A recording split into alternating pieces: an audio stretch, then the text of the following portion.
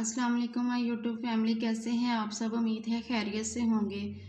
अल्लाह ताला सबको रोज़े रखने की और अपनी इबादत करने की तोफ़ी अता फरमाए।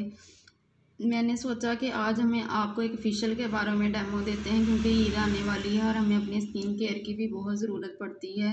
ईद के लिए हमें अपनी स्किन पे एक अच्छा सा ग्लो चाहिए। इसके लिए मैं आपको एक सस्ता तरीन फेशियल बताऊँगी। एक बहुत अच्छा पैकेज है, आप इसे घर में भी ट्राई कर सकते हैं। आपको फिशल के स्टेप आने चाहिए। तो आप इसे फिशल के स्टेप फॉलो करते हुए आप इसे घर में भी ट्राई कर सकते हैं और ये मार्केट में आसानी से मिल जाता है और इसकी प्राइस भी मुनासिब ही है। तो वीडियो शुरू करने से पहले प्लीज़ मेरे चैनल को ज़रूर सब्सक्राइब करें। चलें, आपका कीमती वक्त ज़ाया किए बगैर मैं आपको इस फिशल के बारे में सारी इन्फॉर्मेशन देती हूँ ताकि आपको पता चल जाए कि इसके कौन कौन से स्टेप हैं और कैसे कैसे हमने फॉलो करने हैं। चलें, वीडियो स्टार्ट करते हैं। ये इसका फ़र्स्ट स्टेप है फ़र्स्ट स्टेप में हमेशा क्लिनज़र ही आता है स्किन को नीट करने के लिए। इसके हम अप्लाई करने का तरीका इसका ये है, इसके बैक पे भी दिखा मेंशन किया हुआ है, आप यहाँ से भी देख सकते हैं, लेकिन मैं आपको बता देती हूँ कि आपने सबसे पहले अपने फेस को गीला करना है। फिर अब क्लिनज़र की थोड़ी सी अमाउंट अपने हैंड पे लेनी है और इसे मसाज करना है अपने हैंड पे ताकि ये मिक्स हो जाए। फिर इसे फाइव टू टेन मिनट्स के लिए अपने फेस पे आपने अच्छी तरह से फेशियल के स्टेप फॉलो करते हुए मसाज करना है। देन आपने अपना फेस साफ़ पानी से क्लीन कर लेना है। उसके बाद हम इसका सेकंड स्टेप करेंगे। सेकंड स्टेप में इसके आता है फिशल स्क्रब है, ये स्क्रब भी हम ऐसे ही अपने हैंड पे लेंगे। पहले, सबसे पहले हमने अपने फेस को गीला ही रहने देना है। उस पर हमने फाइव से टेन मिनट के लिए सर्कुलर मोशन में मोशन में हमने इसे मसाज करना होता है।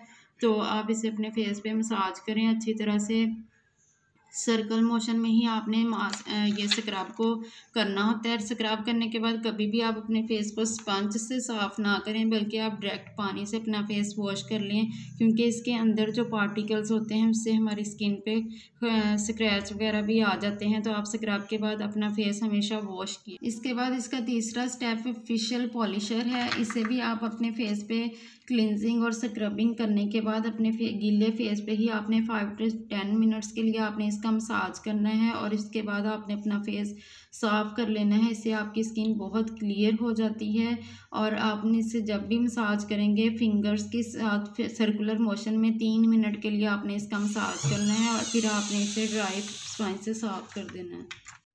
ये इसका चौथा स्टेप है फेशियल मसाज है। इसे आप अपने फिंगर टिप्स पे लेंगे, थोड़ा सा और फिर इसे आप सर्कुलर मोशन में फाइव मिनट्स के लिए अपने फेस पे मसाज करेंगे। अच्छी तरह से आपने सारे फिशल वाले स्टेप फॉलो करने हैं। आपने अपने नेक को भी इग्नोर नहीं करना।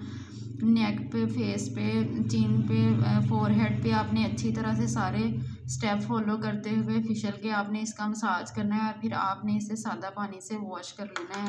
इसके बाद हमारा लास्ट स्टेप हमेशा की तरह मास्क होता है फेस को अच्छी तरह से वॉश करने के बाद आपने अपने फेस पे मास्क की एक लेयर लगानी है और इसे आपने फिफ्टीन मिनट्स के लिए छोड़ देना है। उसके बाद आपने अपना फेस वॉश कर लेना है।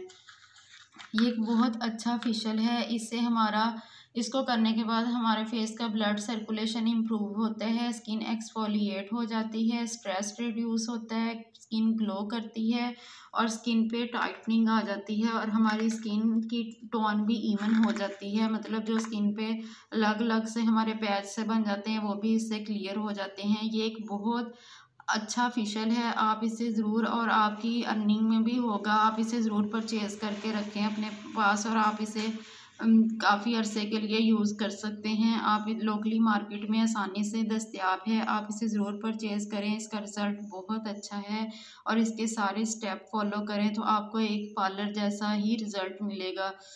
उम्मीद है आपको मेरी वीडियो पसंद आई होगी और आपके लिए अच्छी रही होगी, आप इसे ज़रूर फॉलो करें और हमें ज़रूर फीडबैक दिया करें ताकि हमारी हर आने वाली वीडियो आपको अच्छा तरह से फ़ायदा दे सके। ओके अल्लाह हाफिज़।